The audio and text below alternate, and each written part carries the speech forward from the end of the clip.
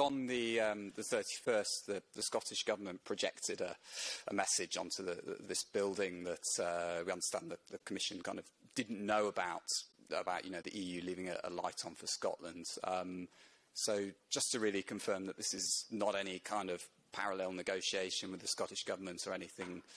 uh, like that, because, you know, some people might see it back in the UK and sort of wonder, you know, the purpose of such meetings.